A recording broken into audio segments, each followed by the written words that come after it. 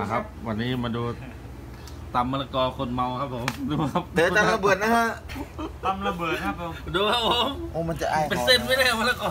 ดูตอนบักหุงมะละกอเส้นใหญ่ครับผมนี่เขาเรียกว่าดูตกาอนรบักหุงเลยการกินเหล้าแบบถึงสุดขีดแล้วมันเป็นแบบเฮเฮโรติกนะฮะนี่ก็นี่ก็บอกว่านี่การชีวิตน่ะ อยู่รอดของดูเอ่ครับผมอคนขี้นี่เมาครับมันนี่คุณอยู่กับแบกิว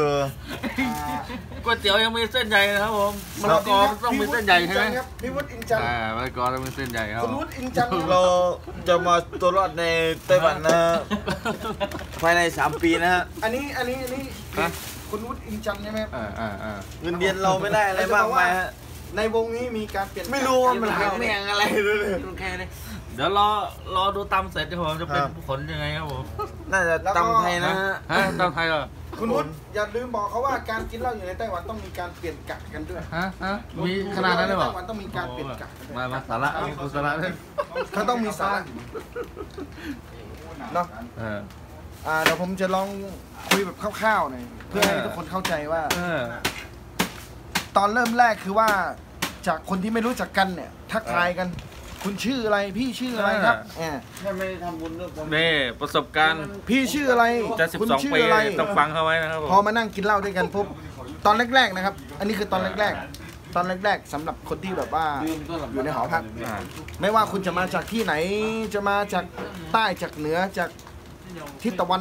อะไรของคุณก็แล้วแต่ แต่คุณมาคุณต้องถามชื่อก่อนว่าพี่มาจากไหนชื่ออะไรครับอ่าพอมานั่งกินช่วงแรกๆจะถามทำชื่คอวามรู้จักเออแล้วก็จำชื่อได้ด้วย แม่นยำเออพี่ชื่ออะไรครับ พี่ชื่อนู่นชื่อนี่